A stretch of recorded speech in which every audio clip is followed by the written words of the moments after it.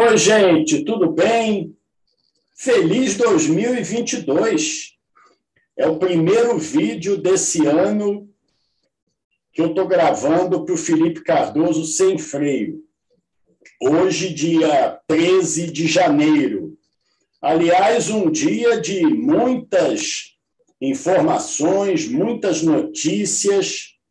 A gente vai analisar tudo agora nesse vídeo.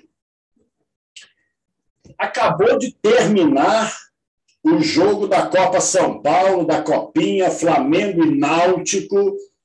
E o Flamengo fez um gol 50 minutos do segundo tempo.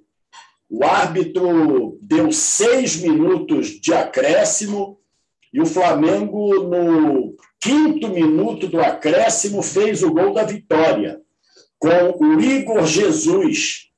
Flamengo 1, Náutico 0.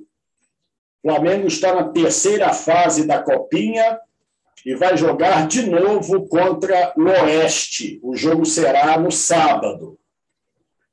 Hoje, o Vasco se classificou. O Vasco fez 4 a 0 no Joinville Aliás, uma campanha espetacular dos meninos do Vasco até agora, um ataque altamente goleador.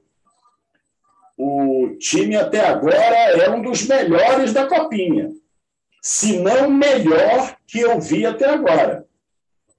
Se vai ser campeão, é muito difícil dizer ainda, porque quando é jogo de mata-mata e é um jogo só, na verdade é mata, e é jogo dia sim, dia não, agora nas fases da Copinha, fica difícil fazer um prognóstico.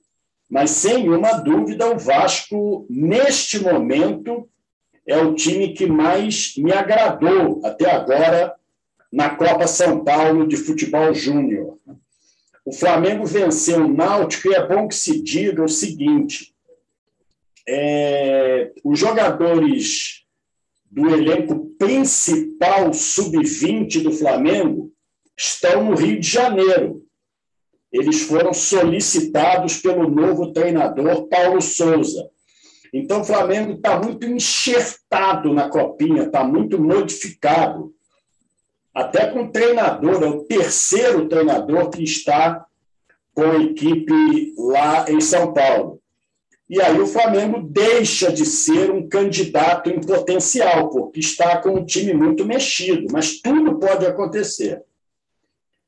O Fluminense e o Botafogo continuam na competição, os dois vão jogar amanhã, assim como o Rezende. É bom que a gente não esqueça, o Rezende, aqui do Rio de Janeiro, está na terceira fase e vai jogar é, buscando uma vaga na outra fase. O Rezende eliminou na segunda fase o Fortaleza nos pênaltis, depois de um a um no tempo normal.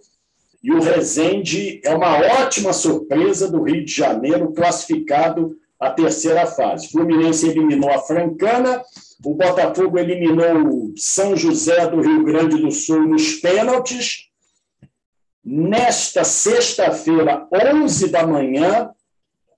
Se você está vendo o vídeo antes das 11 da manhã de sexta-feira, você sabe que o Botafogo vai jogar diante do Taubaté.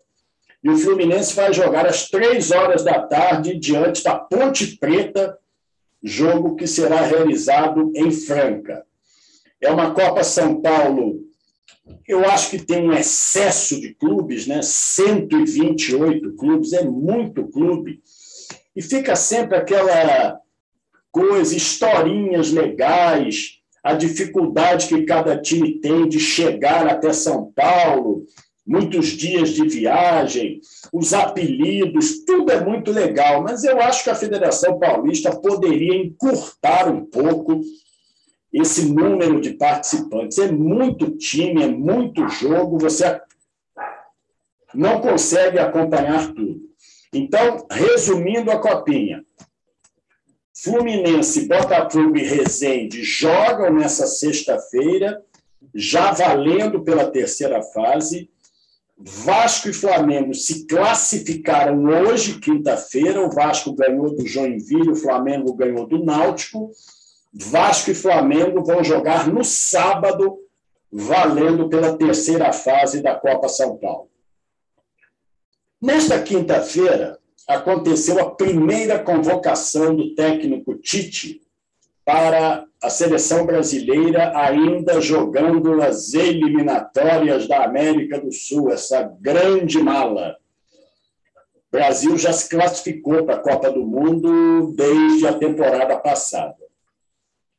E, evidentemente, que é injustificável convocar o Felipe Coutinho nesse momento.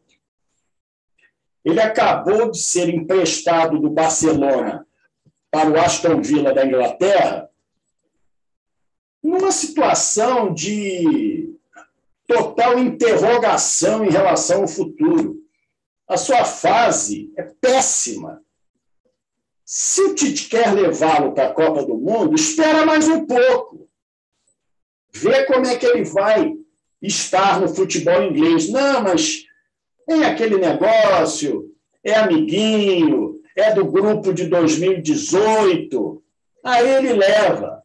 E aí a justificativa é praticamente inexistente. Vamos esperar o melhor momento, vamos incentivar o melhor momento. Quer dizer, uma, uma convocação absurda, tendo o Rafael Veiga aí, né, querendo uma oportunidade. Everton Ribeiro, de novo, fez uma temporada péssima no Flamengo, muito criticado pela torcida. Está lá o Everton Ribeiro. O Daniel Alves eu até entendo, porque a lateral direita da seleção brasileira é um vazio. Esse Emerson Royal está surgindo, é verdade, mas você não pode contar com Danilo. Então, a convocação do Daniel Alves eu até entendo por algum lado. É muito chato você ficar analisando convocação da seleção brasileira se nada novo acontece, são sempre os mesmos jogadores, a mesma filosofia, a mesma coisa, e não, e não muda. E a gente vai ter que aturar isso até o final do ano, até começar a Copa do Mundo do Catar, que, como todo mundo sabe, em função da temperatura, será realizada no final do ano. Então, eu passei, ano passando assim, de seleção brasileira, que é um assunto que realmente é, não me encanta falar. Eu acho que eu só vou ter o um mínimo de interesse por seleção brasileira no dia que o Tite divulgar a lista para a Copa do Mundo. Aí sim a gente vai poder falar mais. Senão vai ficar esse negócio. E outra coisa, a imprensa não critica muito. Sabe por quê? Porque o, o Tite, a ideologia dele é o que a imprensa gosta. A ideologia dele, ele é, ele é de esquerda, ele é um cara que gosta de PT, é um cara que gosta de, de partido de esquerda. Então, como a imprensa brasileira, 80% é da esquerda, eles acham ótimo. Aí o Tite não convocou o Renan Lodge, que disse que não vacinou mas ao mesmo tempo disse que ele não foi convocado porque ele não entraria no Equador, porque as autoridades equatorianas não permitiriam sem vacina. Então, qual é a verdade? Ele não foi convocado porque ele não tomou vacina ou ele não foi convocado porque o Equador não iria deixar o Renan Lodge entrar? Não ficou muito claro isso né, na coletiva. Como nada que o Tite diga fica claro. Tudo é escorregadio, mas fica por isso mesmo. A imprensa, a imprensa gosta dele, afinal de contas, ele não é do governo, que a imprensa odeia. E eu estou falando aqui sem nenhum tipo de ideologia, porque eu, para mim, eu acho que esses dois candidatos aí que estão polarizando e que devem disputar até segundo turno, para mim, os dois são horrorosos. Então, eu, para mim, tanto faz como tanto fez. Eu não gosto de um nem não gosto do outro. Aliás, eu odeio um e não gosto do outro. Aí vocês tirem as suas conclusões. O Atlético Mineiro me parece que demorou demais a anunciar o técnico, tentou vários nomes. E o Antônio Turco Mohamed é o novo técnico do Atlético Mineiro.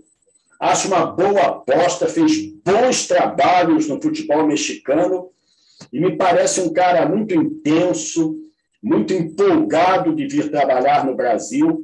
Acho que o Atlético Mineiro trilha um bom caminho. O Atlético meio que levou um susto com a saída do Cuca e aí ficou atirando para tudo que é lado. Eu confesso que o Atlético Mineiro, em algum momento, eu pensei que fosse até recorrer a um treinador brasileiro, mas acabou escolhendo o Antônio Mohamed, o turco. Eu achei bem legal. Fluminense está aos poucos montando seu time. Hoje o Cano foi oficialmente anunciado, dois anos de contrato. Eu não sei, sinceramente, se ele vai brilhar no Fluminense. É uma incógnita. Ele foi muito bem no Vasco nas duas primeiras temporadas, ou uma temporada e meia. Ano passado ele não rendeu bem. Era mais esperado do que nunca que ele não permanecesse no Vasco. É, acho até que os empresários do Cano prefeririam uma transferência para o Oriente Médio. Ela acabou não se confirmando e o Cano assinou contrato com o Fluminense por duas temporadas. Me parece uma ótima contratação. Não sei de que maneira o Abel irá encaixá-lo no time, porque a gente sabe sempre que tem o Fred para comandar. Acho Fred e Germán Cano juntos meio difícil de você encaixar. Não sei o pensamento do Abel. O Fluminense está montando um time muito interessante, muito experiente, mas a gente precisa ver no campo como que as coisas é, vão ficar. Felipe Melo, William Bigode, o Cano, o Pineida, o Natan, o outro lateral esquerdo, o Cristiano, mais essa mescla com os ótimos jogadores jovens que o Fluminense tem, me parece um grupo forte para disputar a temporada de 2022, lembrando que o desafio, logo no dia 22 de fevereiro, é um desafio na altitude, na pré-Libertadores, em Bogotá, contra o Milionários. Flamengo, na minha opinião, acertou em cheio na contratação do Paulo Souza, ainda não tinha dado essa opinião aqui no canal, mas eu acho que foi uma contratação muito correta, muito planejada. O Marcos Braz e o Bruno Spindel não foram para Portugal a passeio, foram porque queriam um treinador que fizesse outro tipo de planejamento. Foi uma decisão muito corajosa do Paulo Souza deixar a seleção da Polônia numa situação em que podia classificar a Polônia para a Copa do Mundo e, naturalmente, ele seria o técnico no Catar. Ele, não sei se estava enxergando que seria difícil para a Polônia passar as duas repescagens, tinha uma vontade grande de trabalhar no futebol brasileiro e aceitou a proposta do Flamengo. Aí pediu um telão para que se filmassem os treinamentos, já começou gente a criticar, uma bobagem é o método de trabalho do cara. O que, que tem ele pedir um telão? O Flamengo tem dinheiro para comprar o telão, já instalou o telão para ele. Vi algumas imagens do treinador de goleiros tirando o couro do Diego Alves, do Hugo, do Hugo Souza. Enfim, acho que foi uma boa contratação e a gente vai aguardar esse jogo da Supercopa entre Flamengo e Atlético Mineiro. O Botafogo anda numa euforia grande pela questão da SAF. Acho. Perdão. Acho, sinceramente, que não havia outra alternativa para o Botafogo. A torcida está é, muito empolgada e é uma razão enorme para isso. A torcida do Botafogo tem sofrido muito nos últimos anos. Ah, mas o time foi campeão da Série B. Tudo bem. Série B é uma coisa, Série A é outra. O Botafogo precisa fazer um grupo forte para, em primeiro lugar, não correr nenhum risco de cair de novo para a Série B. Porque esse risco existe, ele é real. Se o Botafogo não contratar um grupo forte, um elenco forte, não mantiver o Enderson Moreira, aí o Botafogo começa a tomar umas pancadas nessa porcaria desse campeonato carioca, aí já manda o Enderson embora, o Enderson Moreira embora. Não tem que fazer nada disso, tem que manter o trabalho e acho que essa diretoria ela está trabalhando muito bem.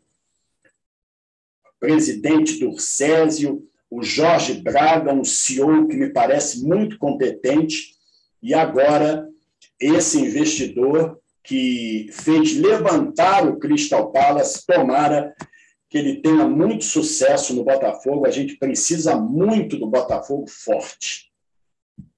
Cruzeiro.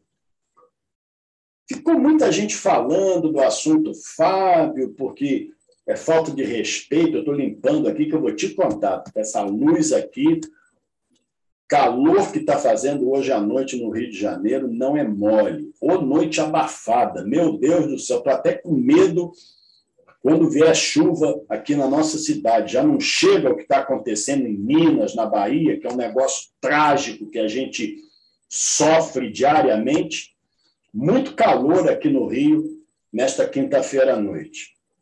É, mas eu dizia, ah, o Fábio, falta de respeito, que não sei o quê. Gente, o Ronaldo foi para lá para sanear o Cruzeiro. Ele não foi para lá para fazer é, caridade com o jogador. Se ele fez uma proposta ao Fábio, que o Fábio julgou ruim, ele julgou, então, que não dava para permanecer com o Fábio. Não adianta o Fábio fazer um contrato grande, novamente um contrato com um salário alto com o Cruzeiro, e depois os investidores é que vão assumir esse ônus. E, e a dívida que o clube já tem com o Fábio vai aumentar mais ainda? Então, a torcida do Cruzeiro tem que entender o seguinte: é uma entrada para limpar as finanças do clube. Não é para fazer time maravilhoso para ganhar a Série B e voltar para a Série A. Tem que formar um time competitivo, vai jogar pela terceira temporada seguida a Série B, vai tentar voltar, mas pode ser que não volte. Mas aí o clube se saneia, o clube fica mais administrável. E o Ronaldo, ele usou uma frase na coletiva que ele deu outro dia que eu achei excelente. Ele disse o seguinte: infelizmente, eu vou ter que tomar algum, algumas medidas impopulares. E é isso mesmo. O investidor, ele não vai ficar pensando se a torcida vai gostar ou não. Ele tem outros objetivos no clube. Ele quer colocar o Cruzeiro viável de novo. Se ele quer colocar o Cruzeiro viável de novo, e ele tiver que abrir mão de um ídolo porque ganha muito, porque já está muito veterano, ele vai ter que abrir mão. Ah, mas futebol mexe com paixão. Não pode ser administrado como uma empresa privada, comum. Mas deveria ser. E é isso que o Ronaldo está fazendo. Esse negócio de. Ah, porque futebol é paixão. Porra, vai lá então e administra o Cruzeiro. Para ver se você não vai fazer a mesma coisa. É muito fácil jornalista ficar fazendo média com torcida, como fazem aí, diariamente. Não, mas, futebol mexe com paixão. Pô, tinha que ter mais respeito pelo Fábio. Pode até ter sido, uma despedida mal conduzida, mas ela não é errada. Do ponto de vista do investimento, ela não é errada. Ué, o Cruzeiro dispensou o Jailson, já tinha contratado. Dispensou o Pará, lateral direito, está fazendo outro tipo de time. Uma folha de pagamento que ele possa cumprir mês a mês e que o salário não atrase. Então é muito simples ficar, ficar fazendo média, sabe? Likezinho, cliquezinho, compartilhamento. É, é, é feito com paixão. Pois é, vai lá então dirigir o Cruzeiro para ver se você vai fazer com paixão também, se o teu dinheiro tiver no rolo. Vai lá. Ah, vamos plantar batata. São chatos, bicho. São, olha, a imprensa esportiva está um negócio muito chato, cara. Muito chato. Queria desejar um enorme sucesso ao Rafael Rezende, que se desligou do Grupo Globo para assumir um cargo de detalhamento numérico no Botafogo, de estatísticas. Olha, Rafael Rezende, eu desejo um sucesso gigantesco para você no Botafogo e lamento que você não seja mais da imprensa, porque o nível está ruim demais e vai ficar muito pior sem você, porque você é muito talentoso. Então, muita sorte a você, você que sabe da sua vida profissional Agora, deixa uma lacuna na imprensa esportiva, porque você é muito bom, você é muito bom, Rafael Rezende. Um grande abraço para você e sucesso no Botafogo de Futebol e Regatas.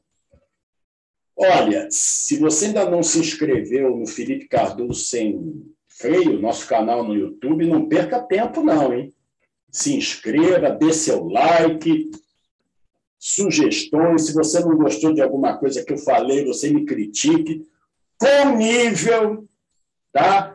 sem xingamento, sem ofensa, e a gente interage com você. Se inscreva lá no Felipe Cardoso Sem Freio. Graças a Deus, o canal crescendo diariamente. Isso a gente deve a você. No Felipe Cardoso Sem Freio tem muitas, muitas, dezenas de entrevistas interessantes para você curtir. Nossa, como eu estou suando, meu Deus! Olha, Renato Maurício Prado, Denis Menezes, é, Oswaldo de Oliveira, Del Aranha, Del Aranha tem duas, doutor Michel Simoni, que mora na Suíça, ele sabe tudo de pandemia, entende muito de pandemia, não é igual alguns aqui, porque hoje em dia nas TVs também ouvem qualquer um, né? É você botar gente para falar de pandemia e confundir a cabeça da gente toda hora. Muita gente importante já falou no canal, né? Fernanda Maia, a Gandulinha do SBT, tem muita entrevista legal. Denis Menezes, Evaldo José, o locutor de todas as torcidas. É só você se inscrever no canal e você está terá direito a todos esses conteúdos no Felipe Cardoso Sem Freio. Estou achando a movimentação do São Paulo interessante no mercado também. Um time que no ano passado a diretoria disse que ia segurar, que ia segurar, de repente saiu contratando todo mundo em 2022 porque está com medo, está com receio de rebaixamento, né? Porque do jeito que os times estão contratando, né? do jeito que os times estão contratando, o São Paulo iria ficar para trás. Então, contratou o Nicão, muito bom jogador. O Patrick é um jogador que não me encanta, nunca me encantou no Internacional. Pode ser que ele arrebente no São Paulo, que tudo dê certo, mas é um jogador que eu não contrataria se eu fosse presidente de clube, eu não contrataria. Eu não gosto desse jogador. Edenilson, sim. Esse é um baita de um jogador. Mas Patrick, eu não gosto. Ainda mais depois daquela atitude dele no Grenal, o negócio do caixão lá no Beira Rio, fiquei com, com mais implicância ainda com ele. O Rafinha, lateral direito, é ótima contratação. Agora, é o Rafinha do Flamengo ou o Rafinha do Grêmio? Se for o do Grêmio, não foi legal para o São Paulo. Enfim, são Paulo se movimentando, Palmeiras também contratando pontualmente, sem fazer loucuras, nesse início de administração Leila Pereira. E o Santos, surpreendentemente, acabou levando o Ricardo Goulart para a Vila Belmiro. sinceramente não esperava que isso fosse acontecer. É, um staff meio estranho, esse do Ricardo Goulart, não dá entrevista, não dá declaração, o Ricardo Goulart também não fala nada. Ele acabou indo para o Santos. O Ricardo Goulart vai ser o protagonista, vai jogar com a 10 do Santos. Olha só a responsabilidade dele. Será que ele vai dar conta? Acho importante que o Santos permaneça com Marinho. Marinho e Ricardo Goulart me parece uma dupla bem legal. Corinthians está se reforçando bem, já tinha terminado muito bem a temporada, contratou o Paulinho. O Fortaleza manteve o Voivoda, que foi muito importante. O Fortaleza vai disputar a fase de grupos da Libertadores. O Bragantino parece que está mantendo o elenco, emprestou o lateral direito, o Everton, para o Vasco, mas ele não é titular. Emprestou o Edmar. Edmar, hein? Edmar, hein? Pelo amor de Deus, Vasco. Lateral esquerdo merecia um melhorzinho. Esse Edmar não joga nada. Pelo amor de Deus. Também veio do Bragantino. Enfim, a movimentação é grande e o que me parece claro é que Flamengo, Palmeiras e Atlético Mineiro continuam na frente, mas eu acho que a concorrência vai aumentar. Vai ser uma temporada mais dura, porque o Corinthians se reforçou muito, São Paulo se reforçou muito, Fluminense se reforçou muito. Eu acho que vai ser uma temporada em que não haverá um distanciamento tão grande como do Atlético Mineiro, do Brasileiro de 2021. Sinceramente, não acredito. Libertadores, Copa do Brasil, as competições serão muito mais afuniladas. Eu imagino assim. E para encerrar, saiu esboço do Campeonato Carioca. Quatro primeiras rodadas. A primeira rodada tem um monte de jogos local a definir. Todo ano é a mesma coisa. Hoje é dia 13, o campeonato vai começar, parece 27, daqui a duas semanas. Local a definir. Jogo tal, local a definir. Esse campeonato carioca, esses campeonatos regionais enfadonhos, chatos, modorrentos, que ocupam quatro meses do calendário. Quatro meses a gente fica aturando essa mala.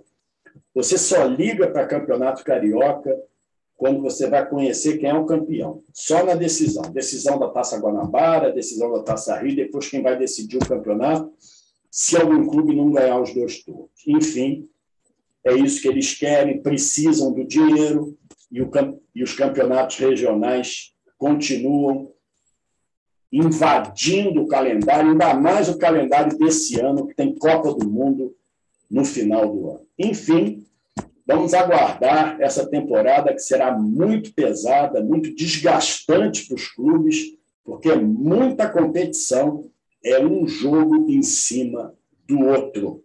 Um abraço, gente.